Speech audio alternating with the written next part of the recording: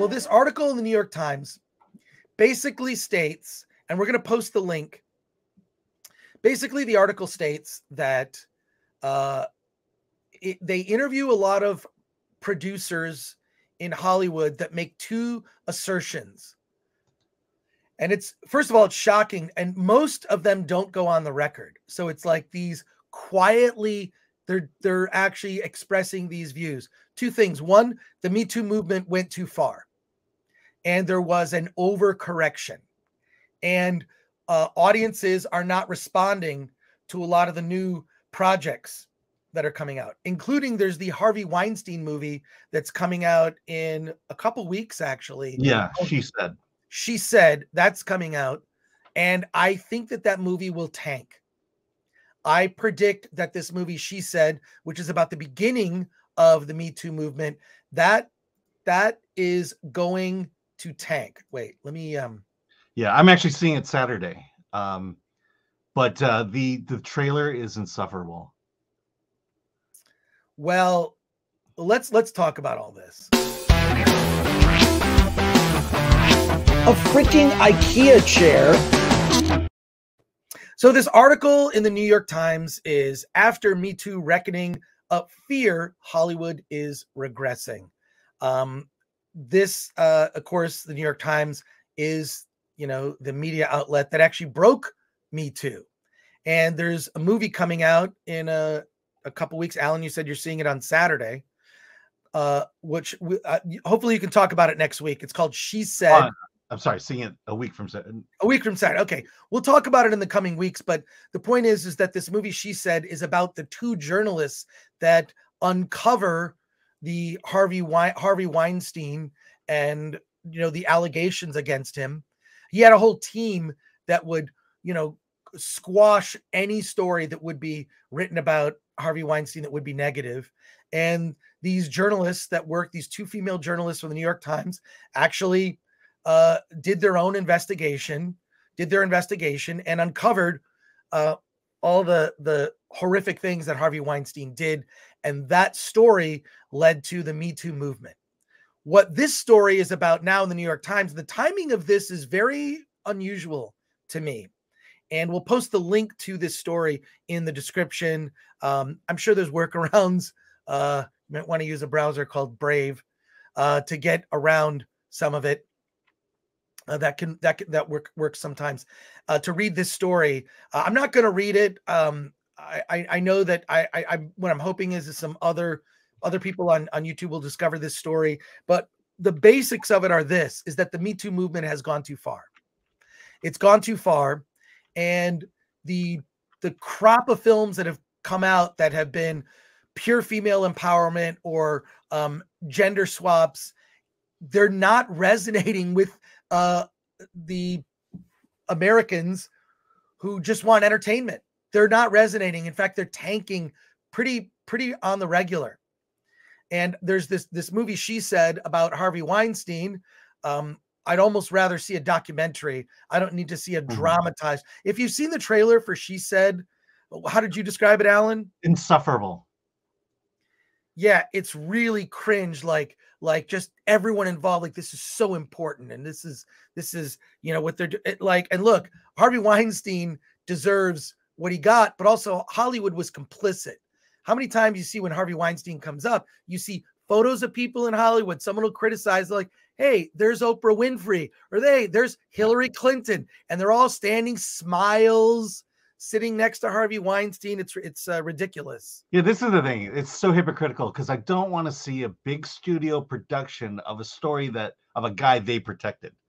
Exactly. They protected Harvey Weinstein. Everybody, even and now I, they're making and now they're making a movie about it to say that oh no, we've known all along. You know, we right. You know, it's just so hypocritical even I heard in the 90s that he was a dirtbag. Mm. Okay. Like at Sundance, people would say, Oh, you got to watch out for that Harvey Weinstein. I'm like, why? Like, uh, you know, he's he's got a reputation. I'm like, all right, well, okay. Uh, I didn't have any direct knowledge of anything that he did or anyone that he had any interaction with. Um, but I do know that this movie, what I feel like Hollywood likes to do with these movies is see, we did nothing wrong and by putting out this movie, she said, which is about the New York Times journalist that uncovered the Harvey Weinstein story that led to the Me Too movement. I feel like by putting this movie out, everyone affiliated can say, "Huh, see, huh, you know, uh, uh, w- w- he's bad. Look We're what we really did. We made, a, we made a movie talking about all the bad things that happened. See what we did." But now the New York Times, as this story I just think is very interesting timing about this. They interview a lot of producers. I strongly recommend check out this story. They interview a lot of producers, a lot of them not going on the record like uh, uh, by their name, right? But prominent producers, and there's uh two main takeaways from it. One, the overcorrection of the Me Too movement, right?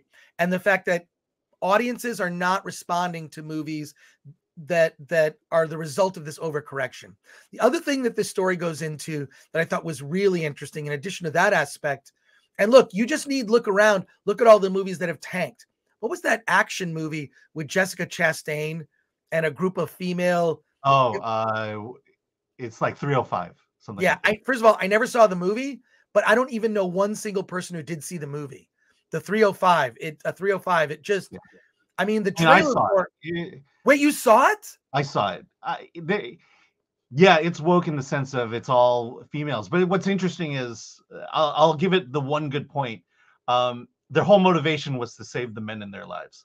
So I don't know. I just saw the trailer and like I remember thinking, I'll never go see that movie. Yeah, it is certainly set up to be, hey, this is a female kick-ass movie.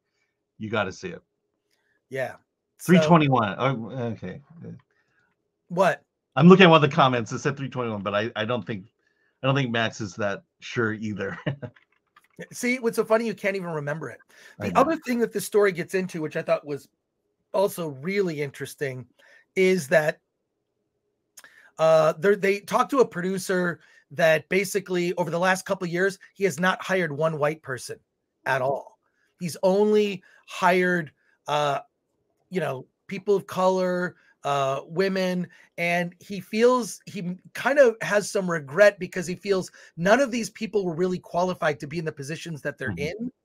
So he he hired people that weren't really didn't didn't work up the ladder, so to speak, right? And it goes into that in this story. And it's just here's what's interesting: the three five five. That's it, Agent uh, fifty seven zero. Yeah, thank you for that.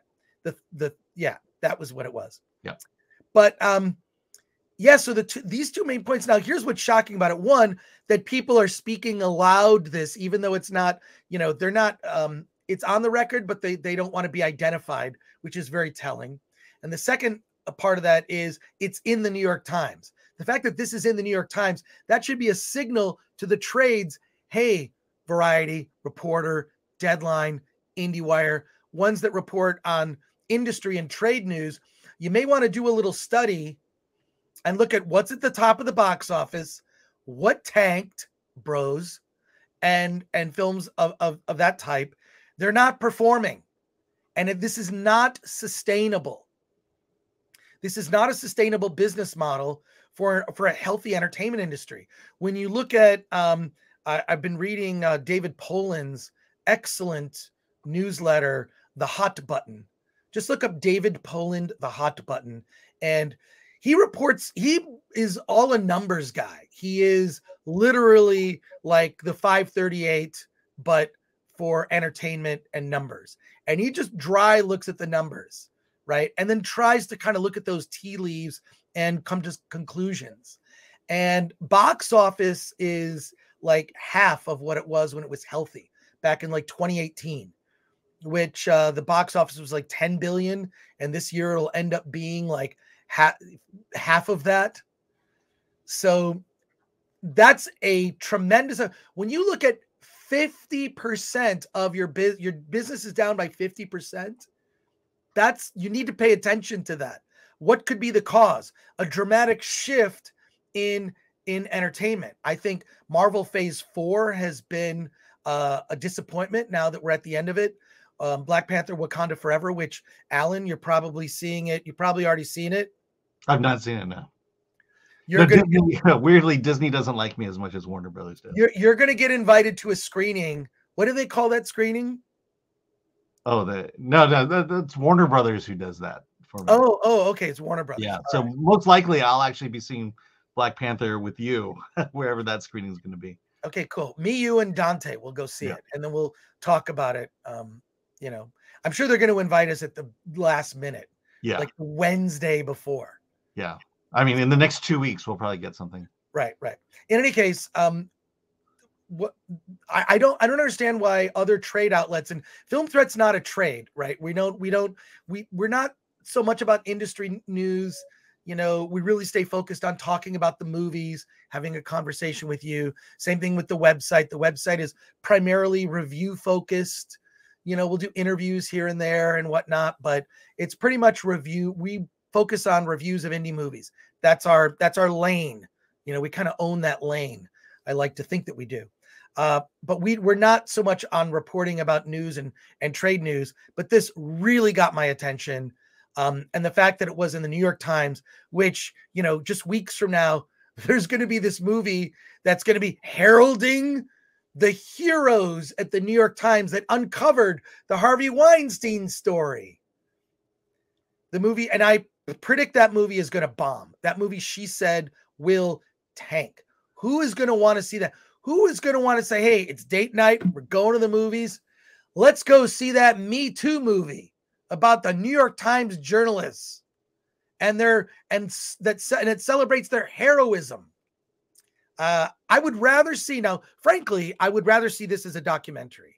If you're going to do it, Absolutely. a deep dive documentary not from from someone who can be somewhat in looking at it in a, in a in a in a just from a, a just in, a- in a perspective where they're not coming at it where they want to prove a point right at the beginning Yeah. I- I think what you're saying is non-preachy. non-preachy and, and more investigative and look at here here's here's a subject why was harvey weinstein protected for decades See, that's the document. I think that's the winning documentary. Is is not only what Harvey Weinstein did and and his tactics, but how Hollywood protected him. That's that's the documentary I want to see. That that to me that's a much more compelling topic because he was feared in Hollywood. And there was a woman and I forget her name she was the publicist that she had a strategy. This is how so many of Harvey Weinstein movies always were nominated for Oscars. That's why people wanted to work with Harvey Weinstein is because you know movies that he made women would win best actress. And back in the day when I was doing film threat we did a column called Tales from the Casting Couch. This is in 1993. Okay. 25 years before the Me Too movement in Film Threat, the print magazine, we had a column. It was written by different writers from Film Threat. One was Josh Alan Friedman, another one was Dean Lamana. And in our column, we would talk to an actress who would tell us stories. Uh, many of them, you know, we had to like kind of talk around it. It was a legal hassle, but the column ran for years and it was completely ignored. Completely ignored this column. Um, Rhonda Shear, who uh, was on a show called Mhm. uh, Up All Night. Do you remember Up All Yep. Night? Remember that show?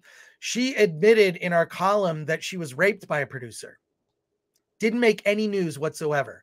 Um, local Fox News, it was the local Fox News affiliate at the time, ended up doing a story on it. So I was on TV. I wonder if I have the clip.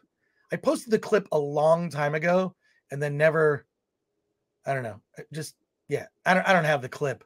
But um there was a there was a there was a news report and and they talked about it and they went to SAG and SAG completely dismissed everything Mhm. and it was in in the in this video report it was myself and gloria allred just saying you know saying hey this is a thing that happens in hollywood. I was kind of shocked because i moved to hollywood in 1989 and was like you know hey that whole thing of the casting couch that's like something from the 1940s come to find out like oh that's a thing that happens like on the regular. So that's why we started the column in film threat i don't think that i am the right person to be telling that story. I never wrote the column, but I felt very strongly about it. But there was an interesting thing that would come up in the column. There were two things. Um, one, uh, there was anger at the producers who participated in this. And the second thing was there was anger from other actors, actors, because there were men in the column as well. that we covered, but other actors and actresses who were upset with their colleagues who did this basically pay for play or play for pay, maybe reverse it.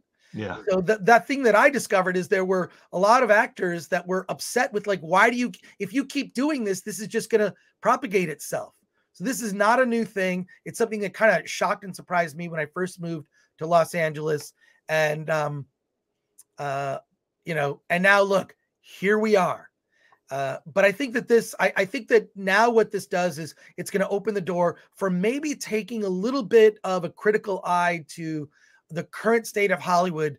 And so there's kind of two issues. There's the Me Too thing, right? And it's like the overcorrection. Let's just make every villain in every movie a white male. I'm shocked when it's not that. Um, uh, I just think that that gets boring and limiting. It's boring and limiting. Um, it's good work though for white male actors, so good for them. It's always it's always fun to play the villain.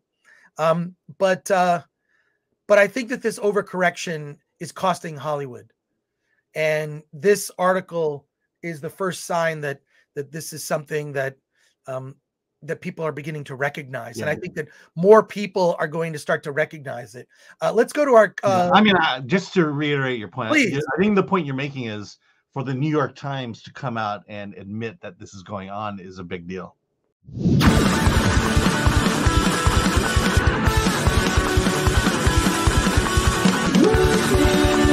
movies, movies,